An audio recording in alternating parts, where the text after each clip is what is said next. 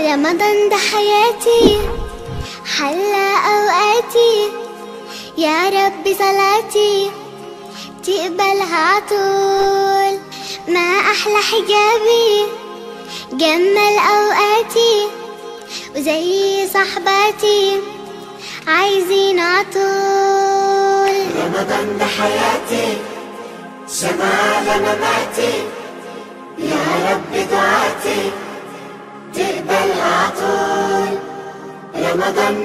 إن الحمد لله نحمده ونستعينه ونستغفره ونعوذ بالله من شرور أنفسنا ومن سيئات أعمالنا. من يهده الله فلا مضل له ومن يضلل فلا هادي له. وأشهد أن لا إله إلا الله وحده لا شريك له. وأشهد أن محمدا عبده ورسوله. وبعد. Assalamu alaikum wa rahmatullahi wa barakatuh. This will be the presentation outline. Briefly, I'll introduce the topic. We look at what happened globally within the Islamic Ummah. We look at the COVID-19 situation in Ghana. We look at the government support policy. We also look at the experience by Muslim Ummah we all knew that in 2019, we've experienced another pandemic. That pandemic, because it occurred in 19, uh, 2019, it was named COVID, COVID-19. And we all know that measures were put in place to control the transmission mechanism of the virus.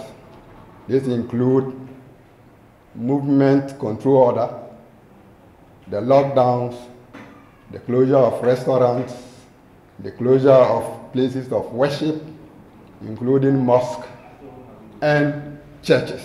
Let us also remember that this is not the first time we've been experiencing this kind of pandemics. If you remember in 1919, 1920, uh, during the First World War, we experienced the Spanish flu. In 1957 to 1958, when we were having our independence, we also experienced what, we, what it was known as Asian flu. In 1968 to 1969, we also had an experience of what we call Hong Kong flu.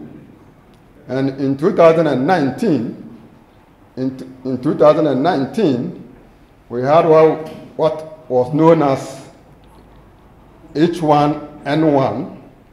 And in 2014, in West Africa, we have what we call Ebola. So let's get in mind that surely there will be also be another pandemic.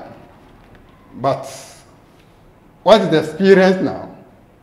And then how do we develop a model or how do we develop a system so that when the new one comes, we're able to sail through? Probably maybe it will be when we are alive or our next generation. Now, let's look at, you see, whenever there is a, uh, what they call pandemics, everybody's supposed to say something. So our Muslim world also, also able to say something. In Egypt, in Iraq, in Jordan, in Morocco, they all said something. Some of them were saying that this is the divine punishment against non-believers. No, I don't think so. It is not a punishment for only non-believers. It's punishment for all, including the believers, because we are aware that some sheikhs, some clerics, they've all experienced this COVID, and then some of them have passed away. So it's not a punishment against anybody. Then others were also saying that others were trying to provide an advice, given that we need to uh, or we must listen to our authorities. You see, when there was a pandemic around March last year, and there was a lockdown, those who didn't obey the rules were majority Muslims in the Zongo area. which I come to the reason why they were unable to obey the rules. Okay, in Turkey, in Kuwait, they all have to say something because they think that even in Kuwait, instead of making the normal Hazan, they change the Hazan to COVID so that everybody must pray in his or in her own what? House. It's not by force, even though praying Jamaat prayers is the compulsory, but we are not in the normal situation. Norm, in the normal situation, you need to do that. But in abnormal situation, you need to obey the rules.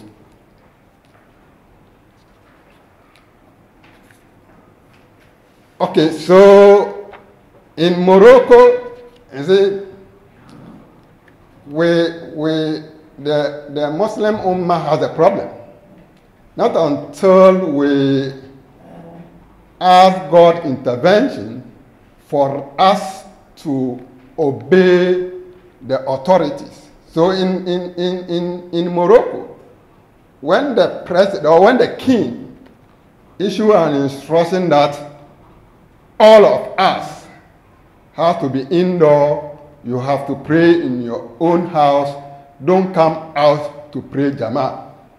Uh, we saw some people saying that no, Prophet Muhammad wasallam didn't authorize the closure of mosques.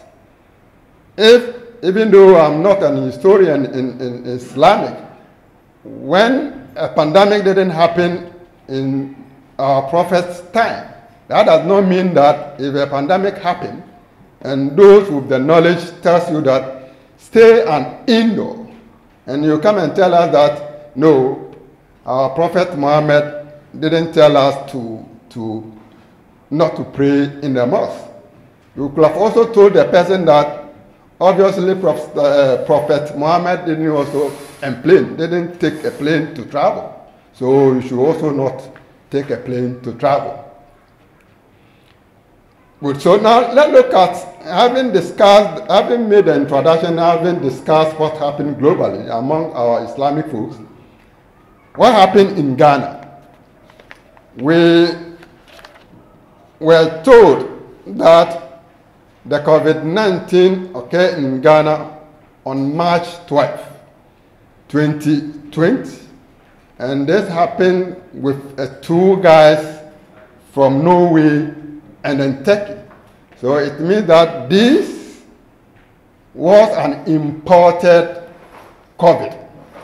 This was an imported COVID. So a week later, the, the president have to organize the Muslim Ummah to pray. So you've seen where the politicians are. When there is success, they will not invite you. But when there is a problem, they will invite you to come and then pray. And of course, our chief imam obey the instruction from the president to pray for the nation. And then the, and the week later, that was 20, March 21, 2020, we recorded 21 cases. So from 12, when we recorded two, two weeks later, we recorded 21, and all these cases were imported. So the president has to take a decision to close all the borders, including the sea, the air, and the land, so that we will be able to manage the, the pandemics. So given that on March 21, we've had 21 cases. The government has to step in to what is now termed as what? Lockdown. So the lockdown Greater Accra, the lockdown Kasoa, and they also locked down what it is now termed as Greater Kumasi Metropolis. We didn't have Greater Kumasi Metropolis, but for the pandemic, we had Greater Kumasi pandemic. So in by September 1, 2020, we don't know, the government has to come in again to open the, the, the, travel, the ban on travel for only air. And we don't know what emanated from that. Probably maybe in the thinking of the president, he thought that all these 21 cases were actually imported. And they, they weren't imported from the sea, neither they were imported from the land. They were all imported by the air. So the, the, the airport has to uh, has to be locked down or has to, has to be closed. But by the 1st September 2020, we have to reopen only the air, what they call transport. So, God being so good to us, even though some of us have not taken the first job, on 24 February 2021, government received the first, what they call dossier for, uh, from COVAX. We actually didn't pay for this, so it's a free donation to the government and the people of Ghana. So let me say by hand those of us who have taken the first jab. Even though there is some skepticism about the taking of the of the jab, but if medically it has been proven that it's good, let's ensure that we all take it. But the fear too is that we've taken the first jab, but when do we know the second jab will be taken when? And do we also know that by the second jab we'll get enough vaccine to vaccine at least those who took the first jab? Let's pray for the better. So let's look at the summary what the government of Ghana has done so far. There's the closure of mosques, churches, school, social gathering. They decided to spray the market, but I don't know the essence of spraying the market. Why? Are we going to kill the, the, the mouse or we are going to kill? Is, is, is the is the is the virus rotates within the, our market space? Well, we don't know, but they are saying that we need to sanitize our market. Our market need total overhaul, not only the, the, the spraying. No, our market need actually total overhaul. There was a mandatory quarantine. They restricted those who want to travel. They closed some of the borders. We performed national prayers, and there was also lockdown. And God being so good, on 24th February, we had our first vaccination. Good. So this was the situation from the 12th of March to date. So what were the policy when we had our first COVID? So we grouped this policy response, health, economic, and the social. For the health, what government did was to provide insurance package and then the tax relief for the so-called frontline health workers. So those who want to understand what is known as tax relief, and so the government is giving, just as you have a pain, if you have a pain, you take a painkiller. The pain, what does the painkiller do? The painkiller doesn't remove your illness, but the painkiller tries to subdue your pains, but it will come back. So what the government did was They give you the insurance in the event that you die. The, the, the, the insurance package will take care of your dependents. The, the government give the tax relief. Tax relief means that they've, they've subsidized or they remove some of your, your income. That income will not attract tax. But let me also take this opportunity, especially those of us who work in the in the in the in the who works and then pay tax. We have several tax reliefs. We have uh, what they call responsibility relief when if you are married or you take care of at least two children. If you are disabled, 25% of your total accessible income from either employment or a business. If you have somebody who depend on you for a livelihood, you have a relief. And if you have a children, at least three of them. So our sheikh, who has uh, 17 children, the only three of them will qualify for this relief. So the government has given tax relief for frontline workers.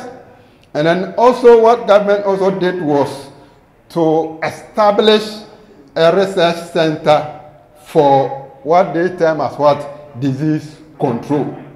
And within the health, government says that it's doing three things or th- three T's: tracing, testing, and what treatment.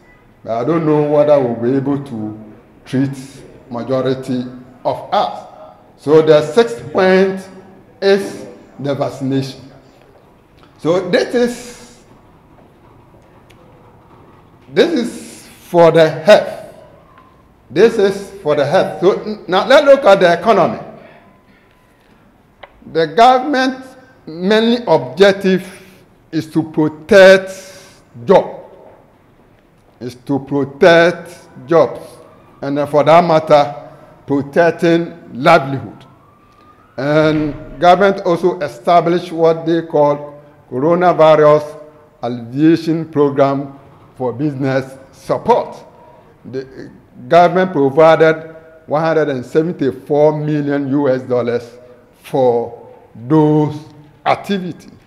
And the government also set up what they term as COVID-19 National Trust Fund. So within the economic space, these are things that the government did to survive, the, to ensure that the businesses survive, and for that matter, we have to also get money to support the economy. Let's look at the social. I mean, saying that, okay, there are a lot of us who will be supported by way of free water. So now we've realized that actually that water is not free. I say, even though the government is saying that I'm giving you free water, there's nothing like free, uh, what they call lunch in anywhere. There's a free water, of course, even though at that time we needed it. So it's a very good policy for the government to give all of us free water. Also subsidize electricity payment and government also distributed food and in some cases hot meal to students and vulnerable groups. So this is what government did for the social. Okay, so now let's come to what's the subject matter. The experience of Ghanaian Muslim Ummah.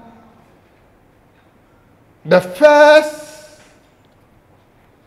negative experience was the ban on congregational prayers at the mosque. The underlying word here is that you cannot pray in Jama at what? At mosque. But that will not prevent you if you are like my sheikh. You cannot pray a congregational prayers in your house. So the Friday prayers was also banned. Our madrasas. I attended Tafsiliya. So I actually also asked question in the next slide that what happened to our madrasas? But we shall come, we shall come to that. But we also remember that COVID happened last year during the Ramadan. So we will not be able, we were also weren't able to make a group iftar, uh, what do you call prayers.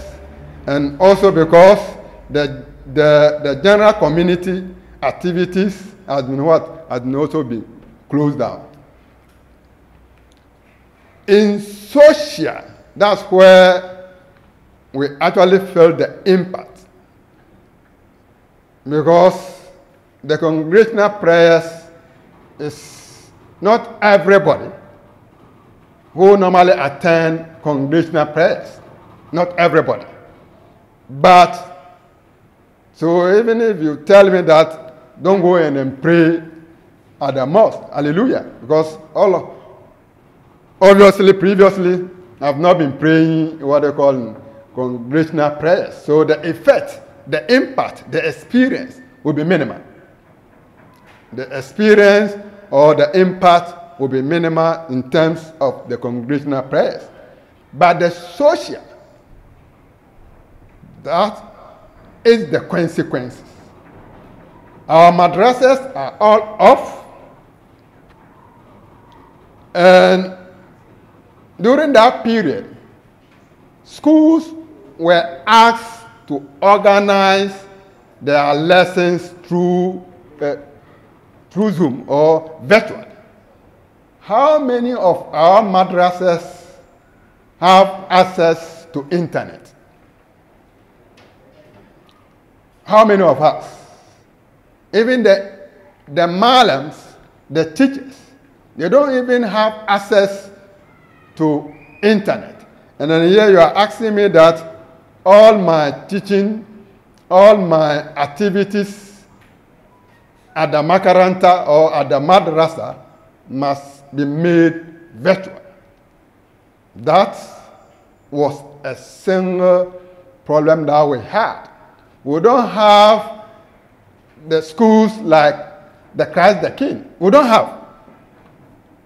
Or who can tell me that the Muslim Ummah as one school which can be compared to the Christ the King? Christ the King is just here.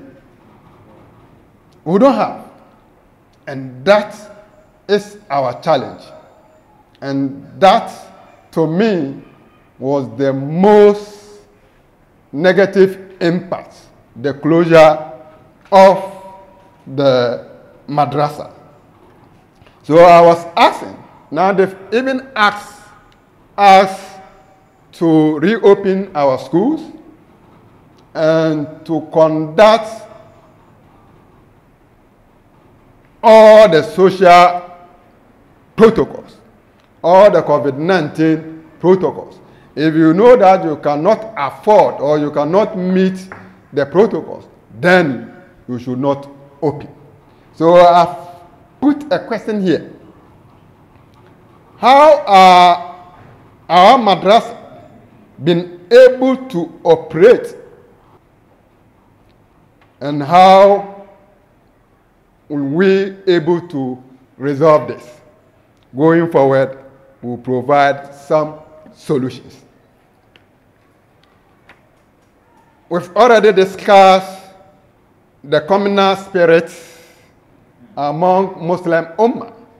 So during the COVID, you cannot hug your your your your fellow eh, brother. You cannot hug him. You only have to do this kind of what handshake.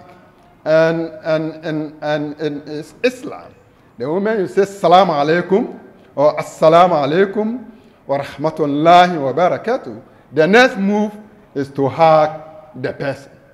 But because for the COVID, we were unable to do to do to do that. And this was also a blow to everybody, including Ghanaian Muslims.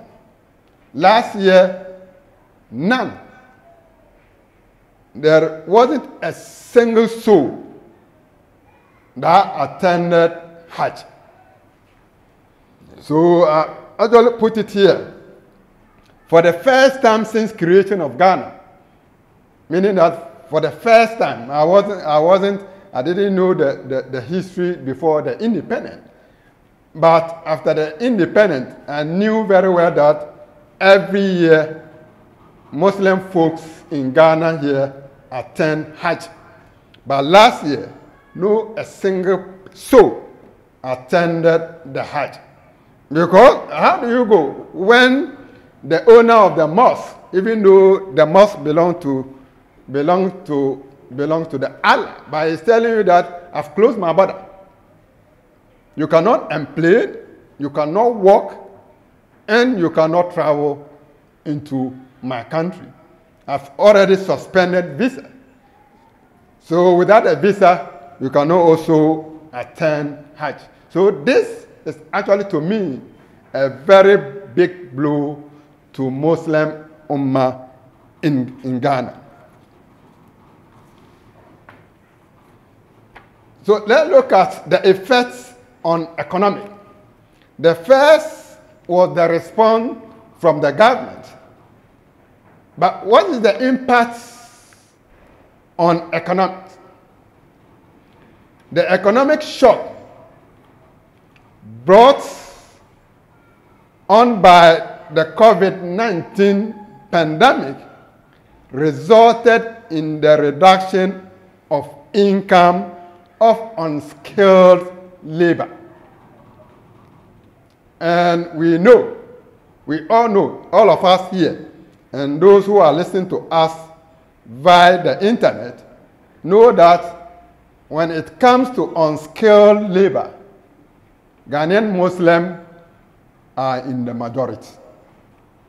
Here is the case that you are even a skilled, you are even, even, even if you have a skill, you've lost your job. Those who are working in the hotels were all lost their job. But here is the case that you are an unskilled person. Where will you get an income? How will you support your family? So this is also a lesson to us. And how do you become a skillful person? You have to attend to school. And you have to attend good school, good madrasa. That's the key. All of us here, me included.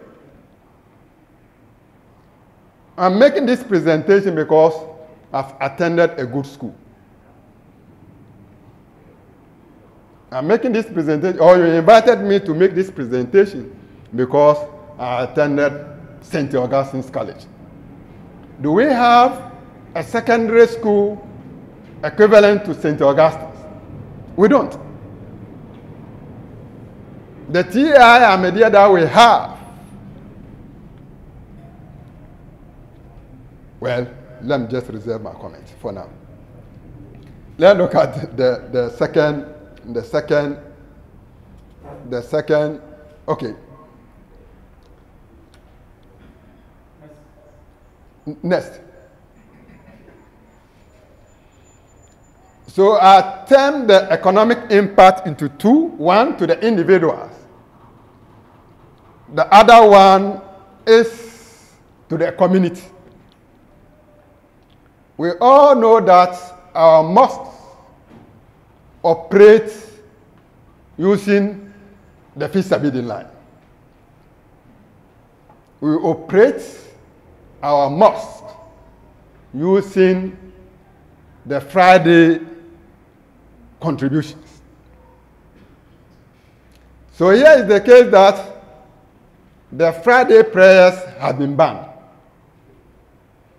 You cannot go and then perform your prayers, let alone give some few coins after the prayers. So in that case, you see that some, there is a story that a lot of our mosques their utility has been what? Has been cut.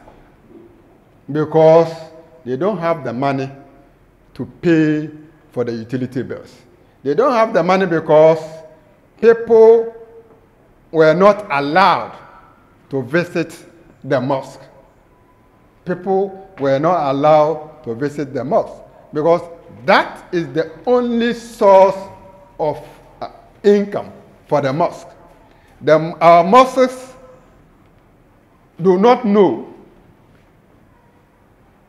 the term diversification. They've never heard of it. That you need to diversify your sources of what? Income. You need to diversify your sources of your income. Two, the second point is our madrasas. As I told you, late 80s, I attended Tafsilia. I don't know those who stayed at Nima. No Tafsilia. That's the Mala Hamza's madrasa. Our malams, also to speak, our teachers, depends on what we call kudin wata. Kudin wata means that your monthly what? Fees. So that is the source of income for our teachers. But here is the case that the madrasa has been shut down. The mosque has not been diversified. If the mosque has not been diversified, will the teacher diversify his income? The only sources of income is the kudin wata. The only sources of income is what? Is the kudin wata. So it's also a lesson to us as Muslim teachers who teach in this madrasa to diversify your sources of what? Income. Because surely there will be a future pandemic.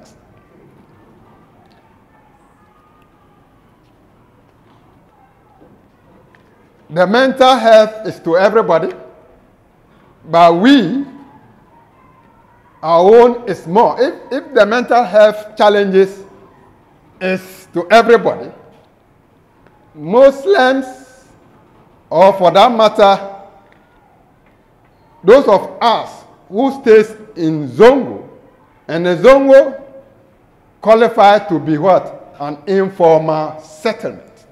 All our Zongos.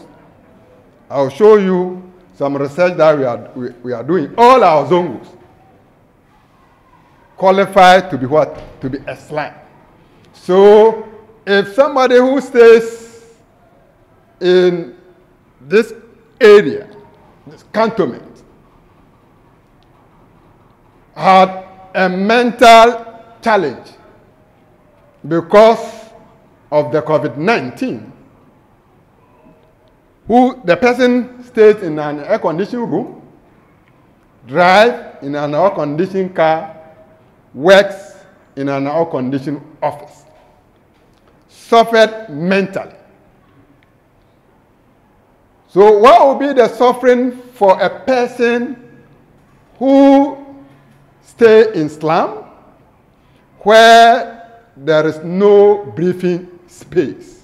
Very, also very important aspect of our barrier of Islamic, uh, what do you call Muslim folks.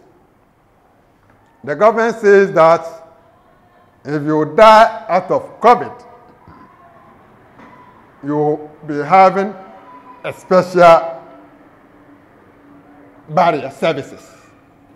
Your family will not know you, or your family will not get to know where you are buried.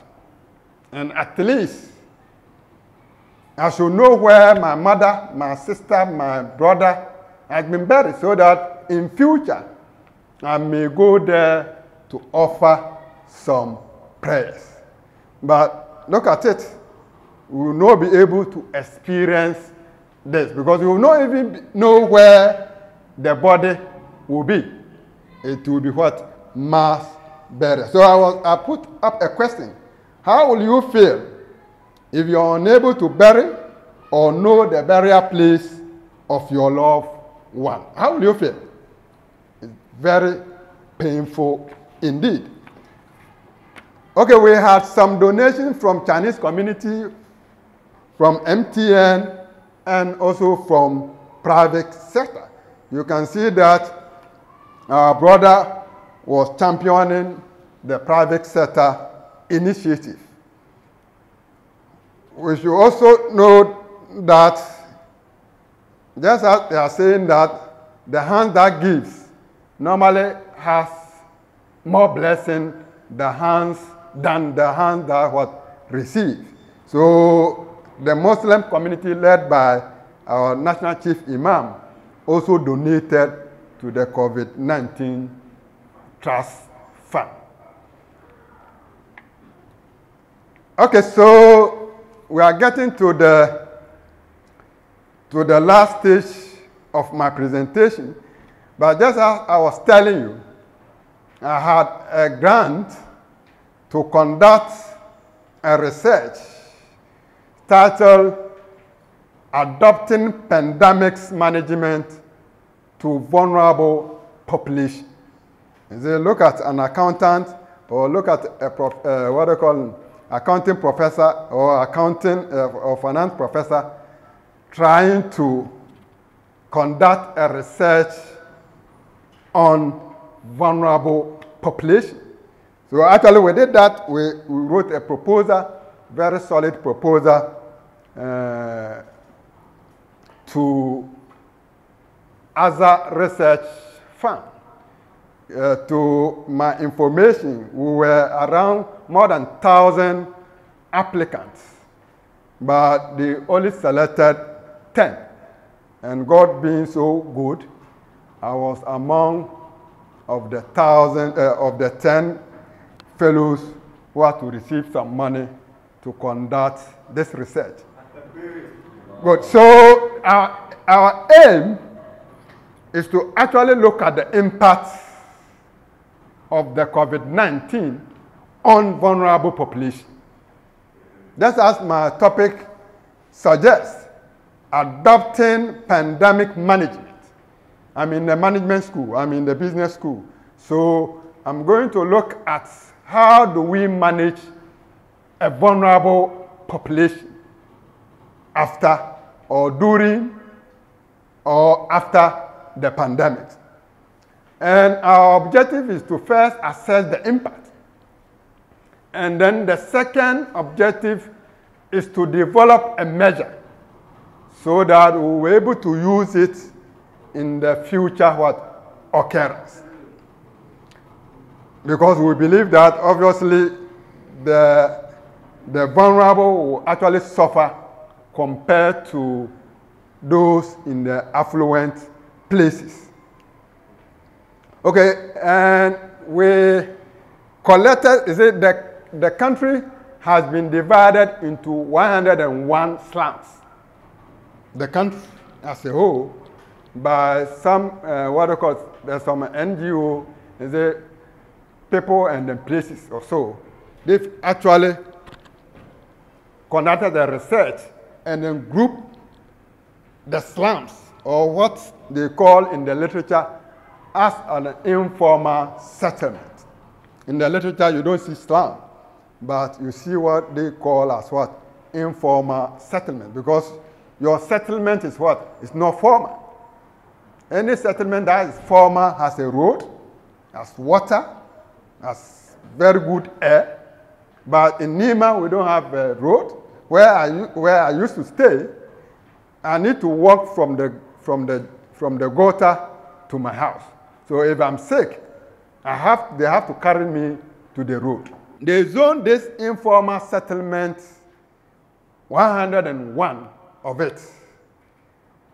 And this is across 12 administrative regions, Greater Accra, Central, Volta, Ashanti, Western, Northern, Savannah, Northeast, Eastern, Bono East, Bono, and then Ahafo.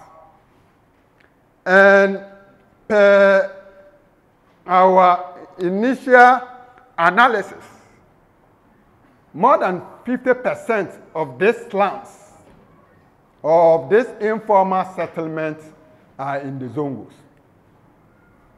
More than 50% of it. They are in the majority. So if you look at it, I've highlighted them in the red ink, or I've colored them in the red ink. You look at Nima, we all know Nima. You look at Alajo, we all know Alajo. Nima 441. Those of us who stayed in Nima know Nima 441. It's, it's very. I was just wondering when we were doing the, the, the, when we were sending the enumerators to those places, we were wondering because Nima proper and then 441, there is no boundary. And I doubt how, how did they know that from the Nima, the Nima is different from what? Nima 441. So it means that they actually did a very good what? Research to come out with this, with these slums. We have Malalta, we have Nima Alafia, Kawokudi. I, I know that a lot of us know Kawokudi. If you don't know the, I know the proper. Kawokudi means that bring your money. That, that's where the, the armed robbers normally used to stay. It's a junction. It's a junction towards uh, what they call goat house. I don't know whether if you know a goat house. At that time, that area all yeah, all of them are we, you don't have a road, you have a footpath. So if you are going to airport and from Nima or from Mambobi, you have to necessarily pass there. So they will be there. There's a junction there, they call it Kawokudi Junction. So if you get there, you collect all your valuable items. So we have Kawokudi, we have Nima Suraj. I don't know whether if you know Nima Suraj. So in zone two. So because Accra has the total majority of the slums, so we group them into six zones. We group Accra slums into six zones. So zone one, zone two, zone three, zone four, up to what? Zone, zone six. Then we'll group Kumasi, yeah. Kumasi, okay, so this is Kasoa. So Kasoa, we have Kasoa Zongo, and we have in Sakina. I don't know, in Sakina, I don't know, and I don't know the, but that, that, that, that is a Zongo, that, that's also a Zongo community. And in, in, in Kumasi, we also zone them into two. We have zone one and then zone two.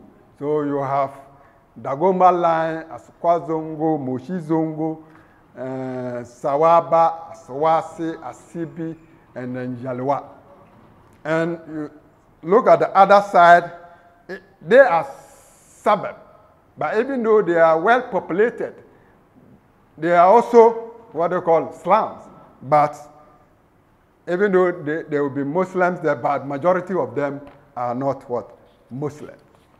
So if you go to the western region, we have two.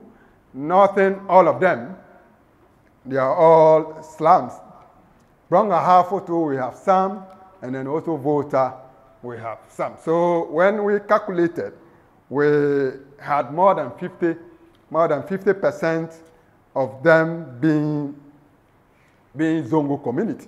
So you just imagine, out of 100 and 101, if you have more than 50%, meaning that 60 towns are all dwelled by Muslims without a proper drainage, proper road, proper air, and then we are also noted for doing the, uh, the bad what things.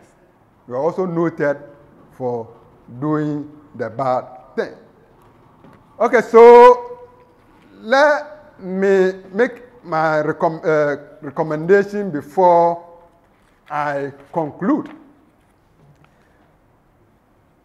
This COVID 19 has taught all of us a lesson. So, we are calling upon Muslim community leaders the imams, the malams, the sheikhs to start thinking about sustainable economic welfare. The underlying word there is what? Sustainable economic welfare of our Muslim Ummah. And then we believe that we'll be able to do that if we, we hear me that all of us, put this as a priority to establish world managed, world what? Managed Muslim Development Fund, Ghana. World Managed Muslim Development Fund. Our Islamic NGO need to double up. We didn't hear of them during the COVID. Probably maybe others must have heard from them, but me, I didn't hear of them. So I was saying that they need to double up. If they are doing it, then they need to do it more. Their effort has we were not heard or seen them during the pandemic. So on my last note, I would suggest that this pandemic is an eye opener. Is an eye opener for all, and we need to take it as serious as it is. And in particular, Muslims should regard this current pandemic as a text from God Almighty and a call to return to Him, believe in His wisdom uh, for uh, such a trial and remain hopeful for recovery. أقول قولي هذا واستغفر الله العظيم Assalamu alaikum wa rahmatullahi ta'ala wa barakatuh. There are a lot of uh, lessons to learn from this lecture. I don't have much useful thing to add to many things that he has said. But I have three issues I want to that crop up during the pandemic among Muslims that I want to us to reflect on. And the first was the, the Safu dilemma, what I call the Safu dilemma where Muslims, even when they ask us that we can go to the mosque, they say we cannot stand shoulder to shoulder. We need to give social distance. In some mosques, they fought. In fact, that social distance that came up about as a result of COVID challenged our scholars to do more ijtihad. Because some, some Muslim scholars were confused. Some were standing in mosques and saying that there's no way. The Prophet says when we are, we are, we are, we are praying, we should stand shoulder to shoulder. Eh? And so you can hear the, the Imam, anytime you stand in, a, in the, in the safu, eh, in the sufuf, you say, eh, Watarasu. Asking you to be shoulder to shoulder. And now COVID has come, we need to observe social distance. Some of our scholars didn't have any idea. So they even told their con- congregants not to separate, not to observe that social distance. But they challenged some scholars to come out and say, no, social distance does not destroy the prayer, the salah that we do. If you don't stand shoulder to shoulder, it doesn't actually destroy your salah or it doesn't, you know, validate your salah. It was a problem for, for Muslims. And for me, where ijtihad, making effort to bring certain, you know, uh, uh, um, um, um, direction to the Muslim Ummah, where it matters most is when we have challenges. That's where your scholarship must show.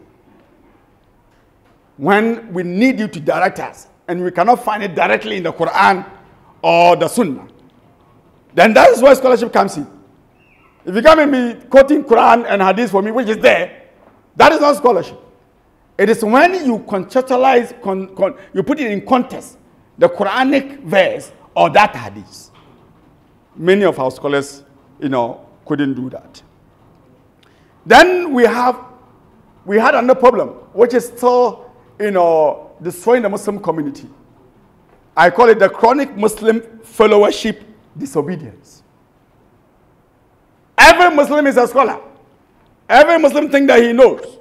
Every Muslim think that you are an island on your, on your own. So sometimes our leaders give us instruction and we don't follow. So he talks about, you know, the chief imam and other leaders saying we shouldn't go to mosque, for instance. Some went to mosque. Some went to mock, Some were arrested. In fact, we, we needed the state force to be in line. We were not listening to our leaders. And so sometimes we talk about, you know, we have problem, leadership problem. But we, our major problem is followership problem. Muslims don't want to follow their leaders. And that's why, you know, we, are, we find all this problem that we are, we, are, we, are, we are facing across the world. Muslim, every Muslim want to be alone. You know, so we have so much divided. We don't want to follow, you know, um, leadership. Then there's this thing that happened. You remember Eid? At the peak of um, um, the pandemic, when we were going to do Eid al-Fitr, we were told that we cannot go to Eid as normal. And we were told you know, to do Eid in our homes. And the question was whether that family leader, eh, whether he knows Islam and he can lead it. Yeah. And so some actually didn't do it. They did nafila. Because he doesn't know. And even some of family leaders, especially we the men, we don't pray with our families. We don't, you know, care, you know, about the way the families should come together for, for, for the sake of, to discuss issues of Islam. Forget about the Eid. Even the normal prayer. Some family leaders couldn't lead their families in prayer at home. There was a problem. I had many calls. And so, how do you do this? How do you do that? Scholars are professionals. He's a professional, but he doesn't know his religion. And now it was time for him to lead his own. So you go to the mosque, all right, no, to follow imams. But now it's time for you to lead the prayer at home.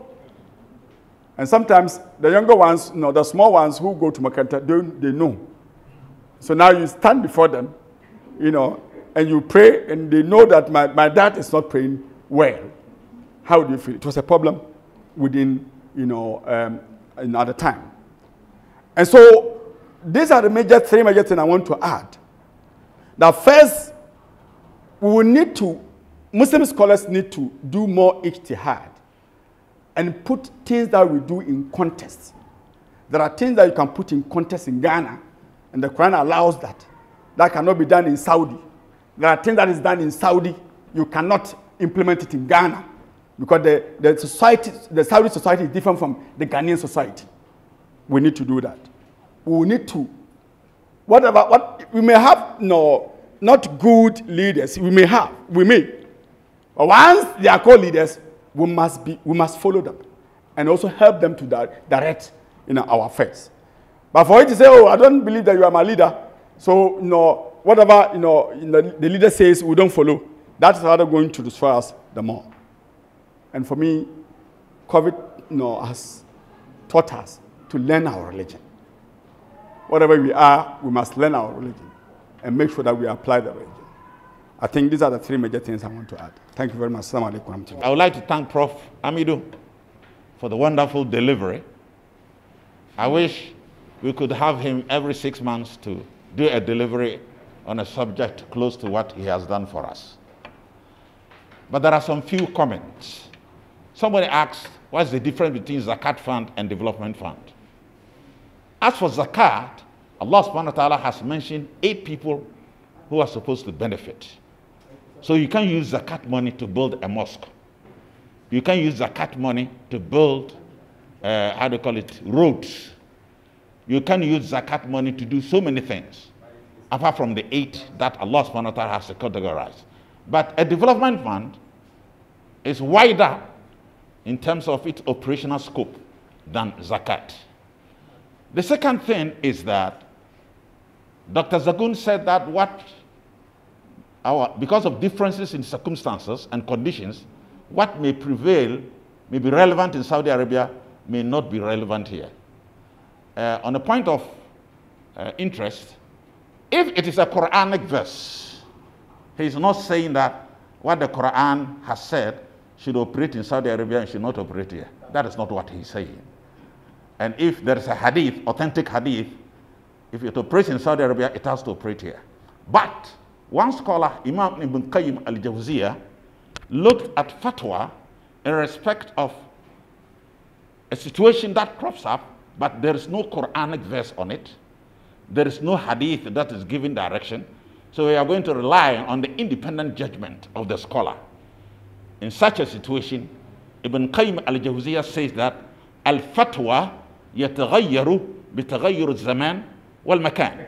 He says that fatwa changes from one situation to another. That is why in the history of Imam Shafi, he had two schools of legal thought, one in Iraq and one in Egypt. There was some fatwa he gave in Iraq. When he came to Egypt, he changed all of them. And then Imam Dhikrullah mentioned Iman and Ilm. That brings us to the issue of the attachment of a Muslim to Islam. The Muslim is supposed to have two attachments to this religion emotional attachment and intellectual attachment. The spiritual attachment is part of the emotional one. More often than not, it is the emotional one that drives us. The intellectual attachment is knowing the religion, propagating it, and defending it when it is necessary. In 2000, when was that? The incident in France, I think 2016 or 15, where the Koulibaly brothers went and killed 17 people because they had insulted the prophet. The Herald magazine had insulted the prophet. But even the prophet himself, when he was alive, he was insulted, but never used force. Huh? Revelations came to defend him. So it means that you have to defend the prophet with knowledge. And you can't worship Islam or worship Allah with ignorance. It doesn't, it's unacceptable in this religion. And Prof was saying that in respect of the schools, when the hijab issue came up, the then Christian Council General Secretary said, Go and build your own schools. Go and build your own schools. Fortunately, the senior high schools, they are not of the best quality, but now a few of them are challenging the existing qualitative Christian schools. As I speak, the school with the highest population across the country and is doing well is Islamic Senior High School in Kumasi.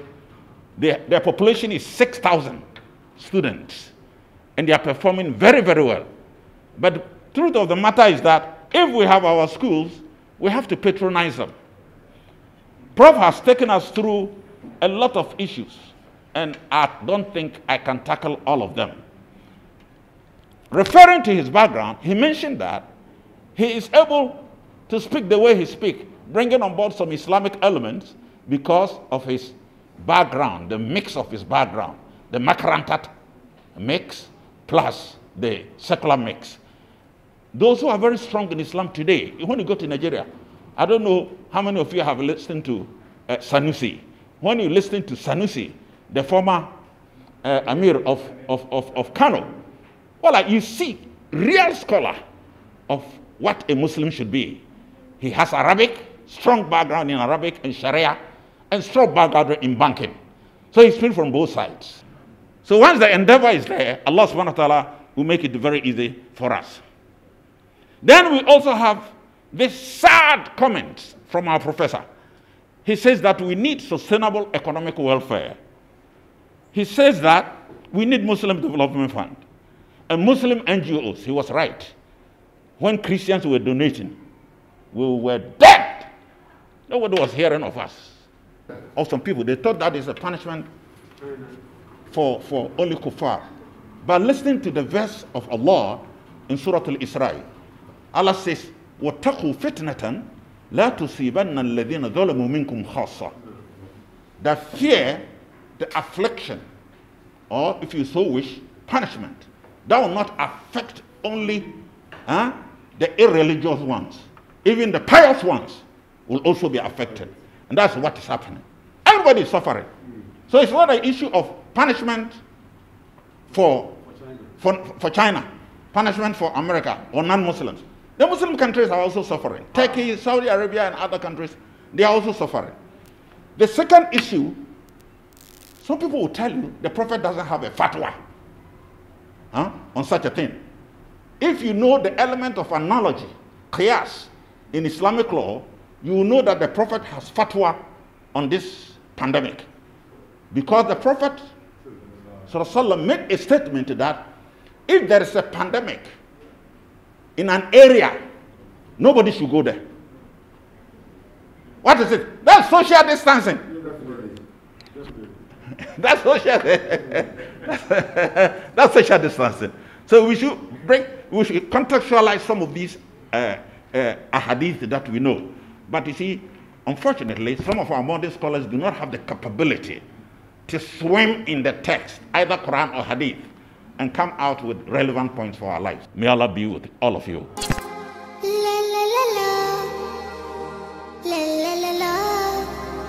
la la la